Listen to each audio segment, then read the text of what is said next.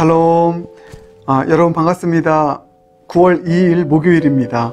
매일 아침 묵상. 오늘 계속해서 갈라디아서 예, 복음의 진수를 맛볼 수 있는 성경입니다. 1장 11절부터 24절까지 우리 함께 읽고 묵상하는 시간 갖겠습니다. 살아계신 하나님의 말씀입니다. 형제들아, 내가 너희에게 알게 하노니 내가 전한 복음은 사람의 뜻을 따라 된 것이 아니니라. 이는 내가 사람에게서 받은 것도 아니요 배운 것도 아니요 오직 예수 그리스도의 계시로 말미암은 것이라.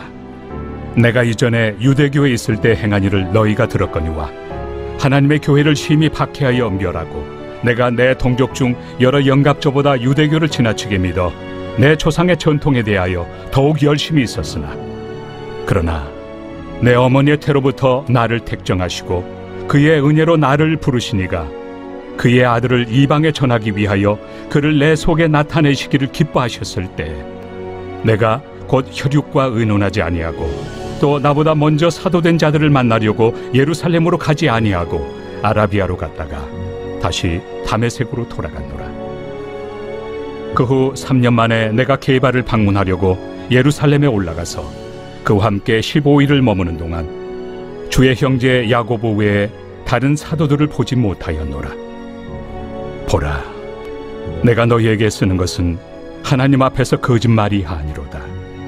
그 후에 내가 수리아와 길리기아 지방에 이르렀으나 그리스도 안에 있는 유대의 교회들이 나를 얼굴로는 알지 못하고 다만 우리를 박해하던 자가 전에 멸하려던 그 믿음을 지금 전한다 함을 듣고 나로 말미암아 하나님께 영광을 돌리니라.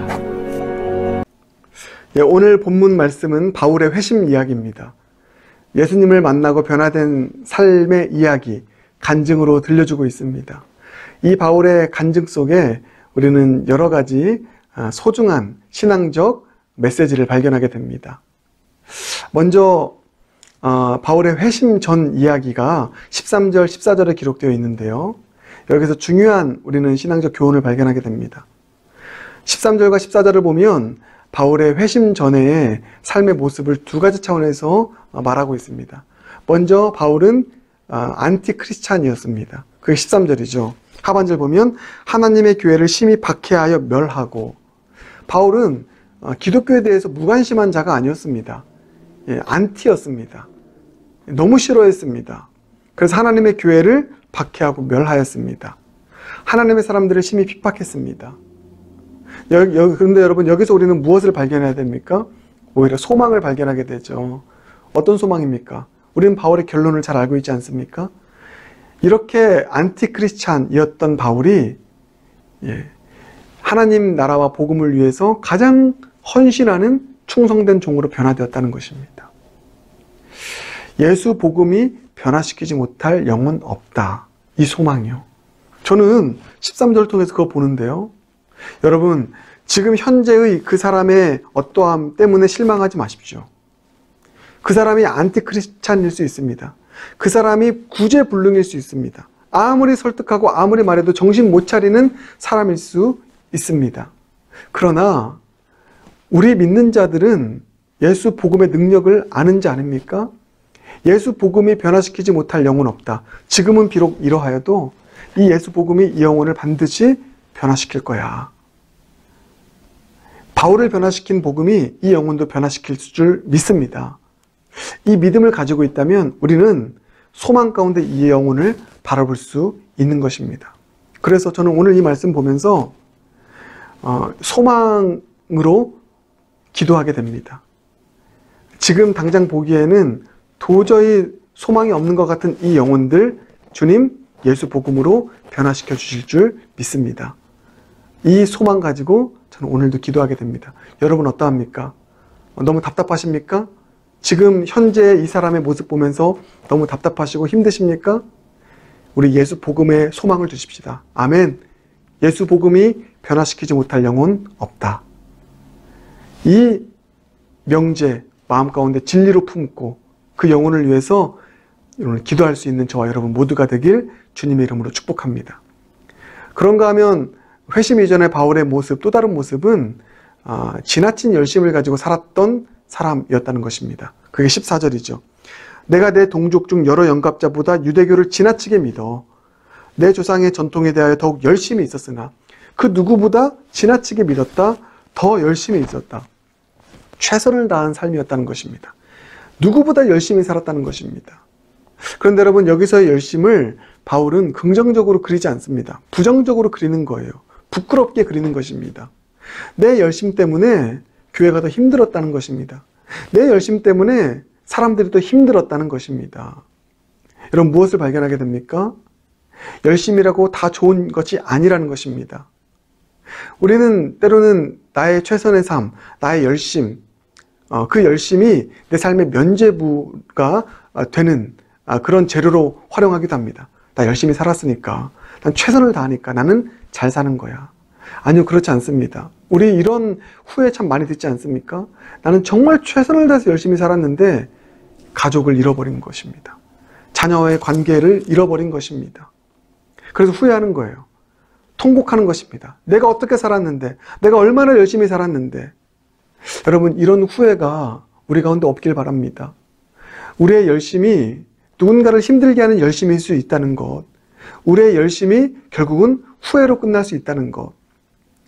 그래서 여러분, 어, 바울에게는 예수님을 만난 사건이 너무 소중한 사건이었습니다. 왜냐하면 어, 내 열심이 잘못된 열심이었다는 것을 깨닫고 이제 바른 열심으로 살아갈 수 있는 바른 열심은 무엇입니까? 예수님 그분을 따라가고 그분을 위해서 내 삶을 드리는 삶의 열심. 이 바른 열심으로 살아갈 수 있도록 방향을 예, 다시 재조정할 수 있었던 사건이 예수님을 만난 사건입니다. 사랑하는 여러분, 저는 이렇게 어, 신앙생활을 정의합니다. 신앙생활 열심히 있는 신앙이어야죠. 예수님 믿었으니까 예수님은 다 이제 뭐 알아서 모든 것을 나에게 해줄 거야. 난 믿음으로 충분해. 그래서 내 삶에 열심을 잃어버리고 그렇게 게으르게 살아가는 것 이것은 옳지 않습니다. 신앙 예수님을 만난 사건, 신앙생활을 시작한 사건은 무엇입니까? 방향을 다시 설정한 사건입니다. 주님께서 우리에게 주신 은사가 있죠. 주님께서 우리에게 주신 달란트가 있습니다. 주님께서 우리에게 허락하신 24시간이 있습니다.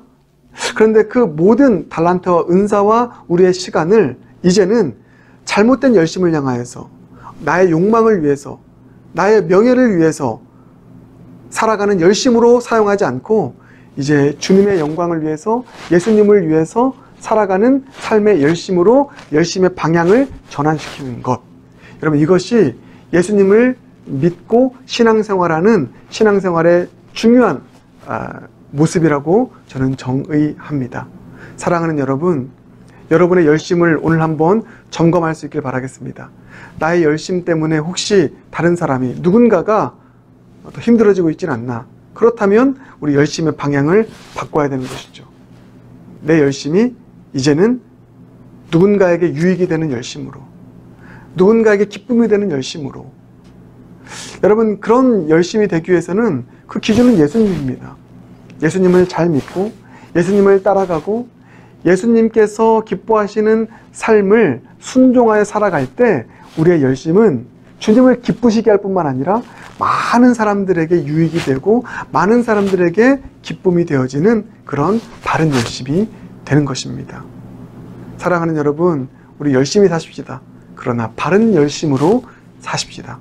잘못된 열심이 아니라 바른 열심으로 살아가서 주님을 기쁘시게 하고 많은 영혼들에게 유익이 되는 그런 삶, 그 삶이 저와 여러분 모두의 삶이 되길 주님의 이름으로 축복합니다. 우리 함께 같이 기도하겠습니다.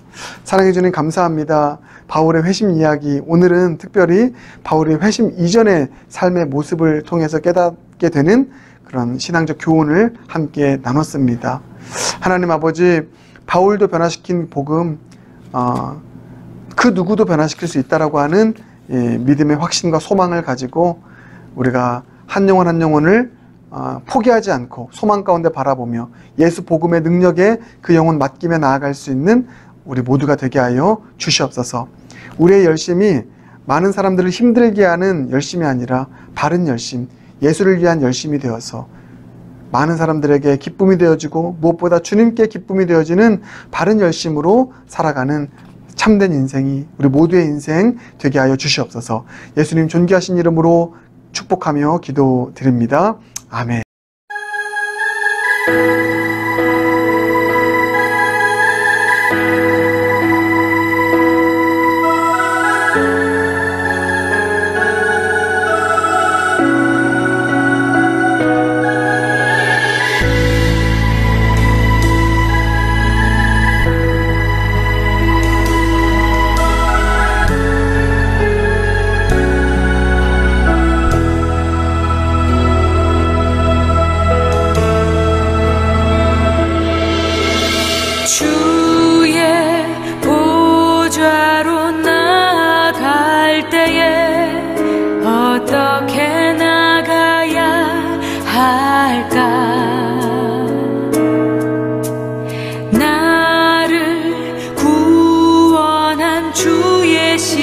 십자가 그것을 믿으